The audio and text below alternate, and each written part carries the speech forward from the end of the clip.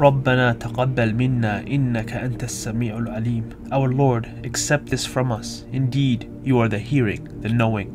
Quran 2 217 Prophet Abraham made this dua as he was building the Kaaba with his son Ishmael, peace be upon them, the first house of worship on earth that Allah asked them to build with their own two hands. As Prophet Abraham was building this house of worship where billions of people have faced to pray and millions of people have performed tawaf, he was still afraid that Allah may not accept his deeds. This dua asks Allah to accept our good deeds. This dua teaches us to always humble ourselves when performing good deeds and not assume our good deeds will be accepted by Allah for certain. We should always be in state of humility when we perform good deeds because we never know if Allah will accept our actions. Some things can prevent people from having their good deeds accepted.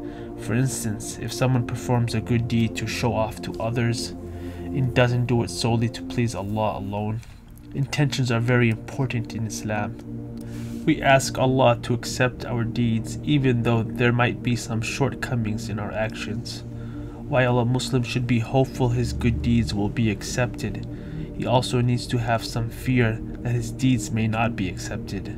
We should have a good balance between the two, or else we can feel a sort of self-righteousness, feeling as if we deserve to have our good deeds accepted by Allah, which is arrogant.